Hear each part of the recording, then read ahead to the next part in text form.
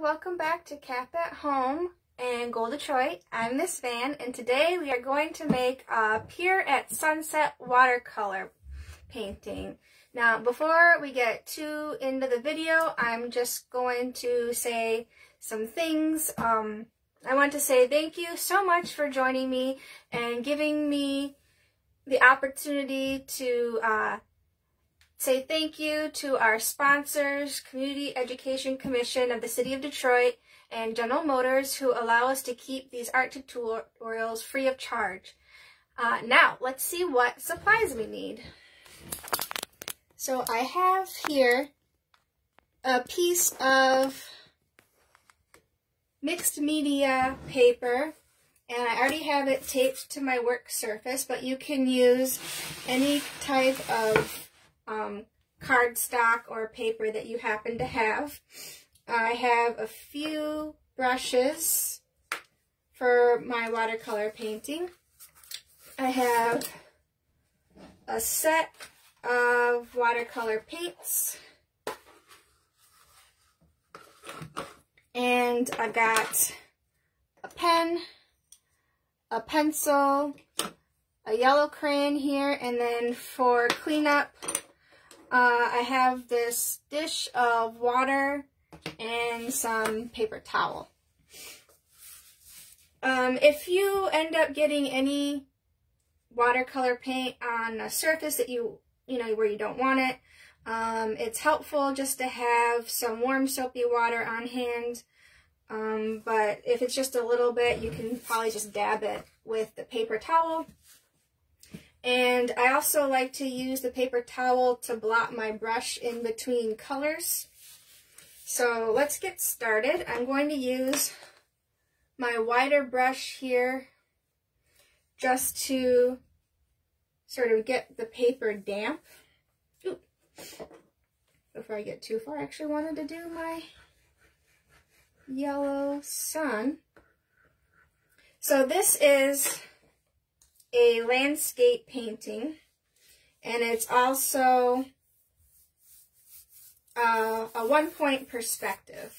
So that means we have a vanishing point, which is roughly um, kind of in the top third of the painting here. And the vanishing point in this picture is the sun, which uh, I'm going to paint setting. So the first step is uh, after you kind of establish your vanishing point to uh, moisten the paper. And now I'm going to add some color to get the background of the sunset. I want to make a gradient. So I'm going to add darker blue on the top and bottom. And a medium blue in the middle. And in order to add some depth, you can also use a few different colors. I'm going to mix in so this turquoise and some purple. But I want to keep the top and bottom both a darker shade of blue.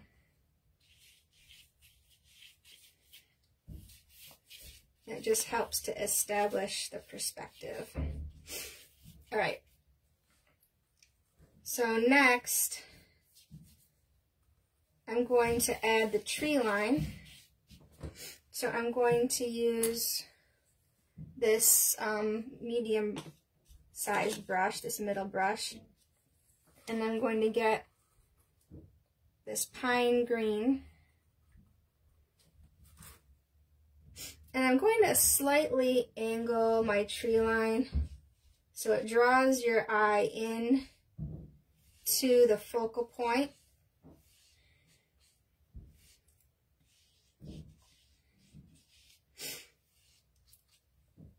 And I'm going to add some brown to make it look nice and earthy.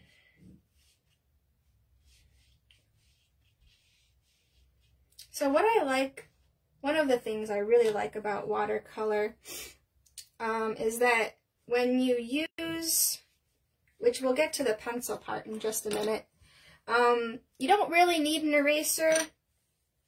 Um, you can use it if you want to, but since you're working wet with watercolor, um, you would want to wait until after the fact, and um, it's just better to kind of let the pencil be part of the drawing, and it's going to get kind of taken away by the water anyway, and it's just going to add like another layer to your painting. Like watercolor just is lots of layers of kind of this, um, it's more of a tint really than a paint.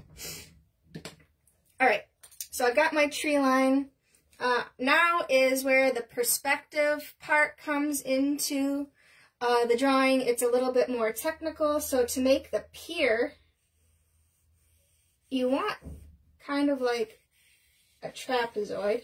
Because again, you're you're drawing your eye into the focal point, the vanishing point of this landscape. And then I'm just going to kind of add the boards of the pier here. And they start a little bit narrower towards the middle and they get wider. And I'm going to add some support beams just to give it that little bit of extra perspective.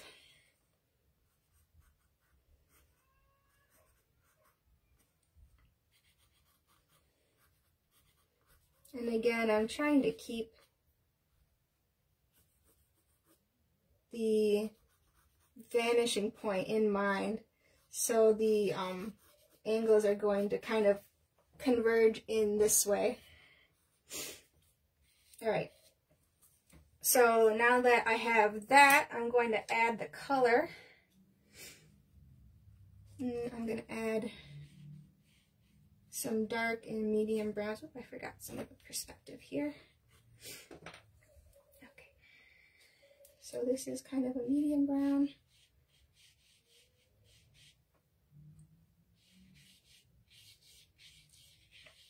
Okay. So also at this point, after I get my first layer of brown here for the wood grain, I'm going to come in and add more depth to kind of the sunset aspect of the painting. So I'm just adding these layers in. And, you know, again, the pencil is going to get sort of fine-tuned with the pen. I'm going to add some detail. But for right now, this just gives me a bit of like background layer.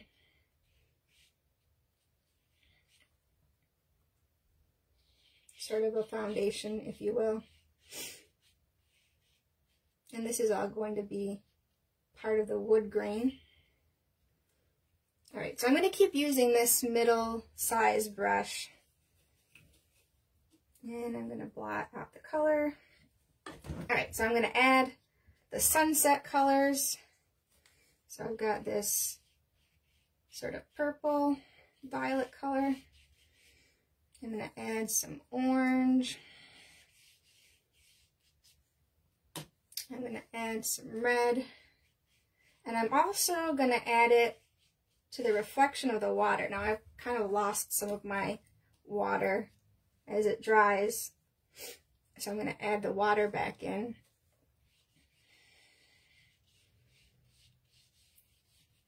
I really like how watercolor kind of like melts in from one color to the next, kind of runs and bleeds.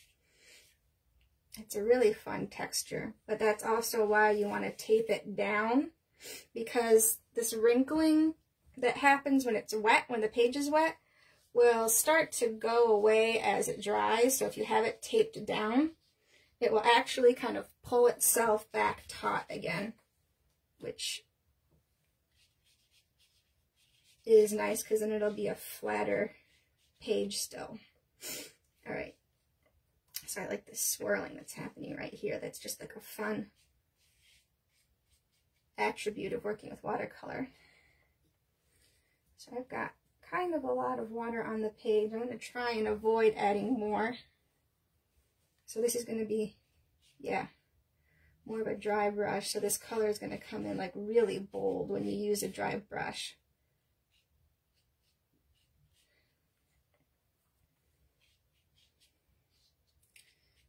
So I'm really getting a good variety of color here.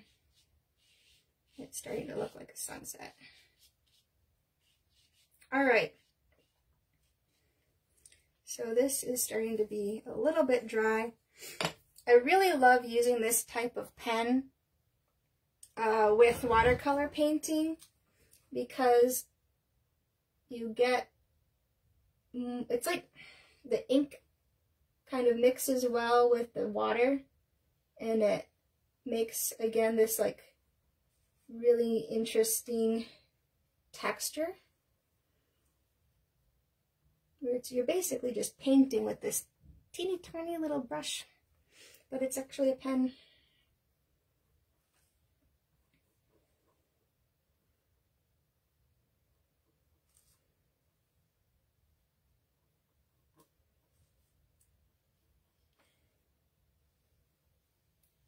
And then you get these really cool lines. And I'm going to add some wood grain detail.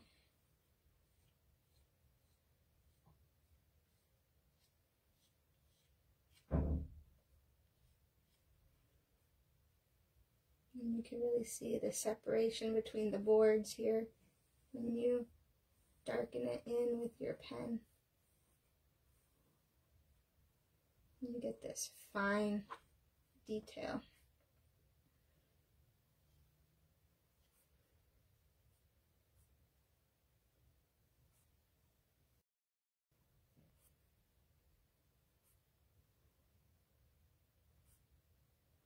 I like to make these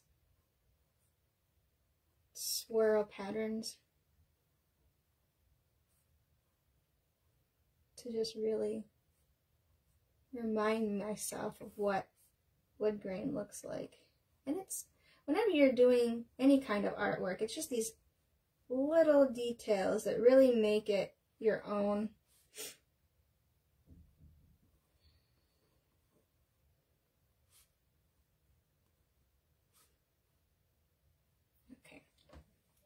So now I'm going to add the branches of, I like to imagine that it's an apple blossom tree because we're in Michigan and we have those. It's our state, or state flower.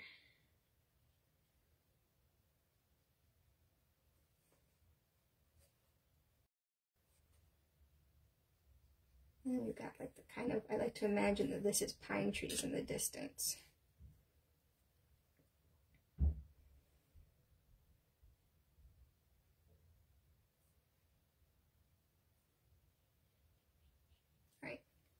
So apple blossoms, go. So I've got the pencil again. And I'm just making the branches, and again, it's converging inward toward the vanishing point.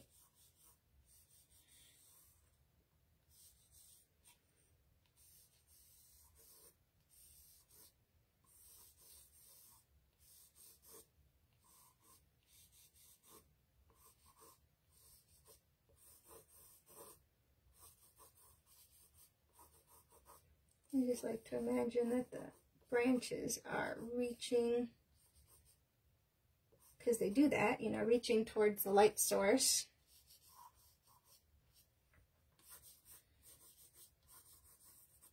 All right, now I'm going to add some more brown color to be my branches.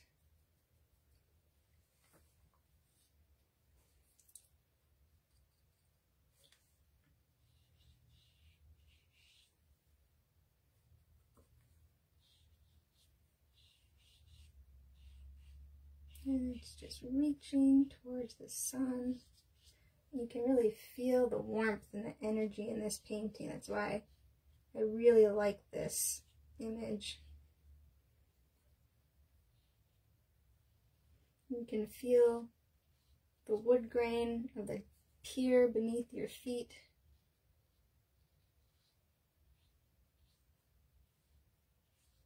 I love winter, but about this time, I start looking forward to the spring every year. And this is just a nice kind of meditation on looking forward to the future.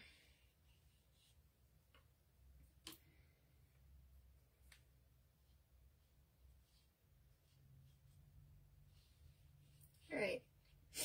Now I'm going to add some flowers, some flower petals. There's a magnolia tree down the street from my house. And it's already got blossoms, like just little buds. And I'm thinking about that. Every day when I walk by, they still look like they're holding on.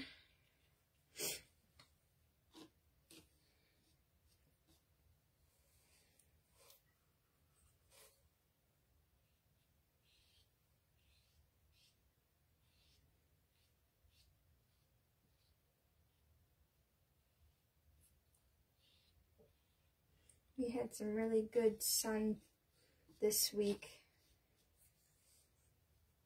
So I was really anticipating doing this painting, thinking about how bright and sunny it's been.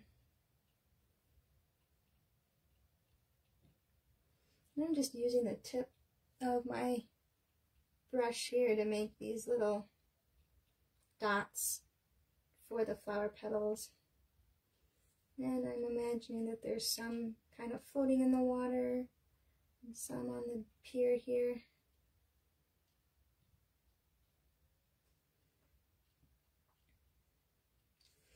All right, so that is my Pier at Sunset watercolor painting. Um, I'm pretty proud of it. uh, thank you so much for joining me today.